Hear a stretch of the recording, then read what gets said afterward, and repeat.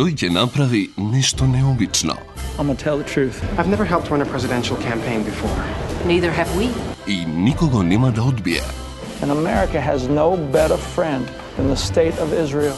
зашто пред него е најважниот избор, кој не може да помине без скандал. Governor Jack Stanton seduced me. I'm gonna blow your nuts off. Џон Траволта, Ема Томсон, или Боб Тортон ќе ве насмеат во Победнички бои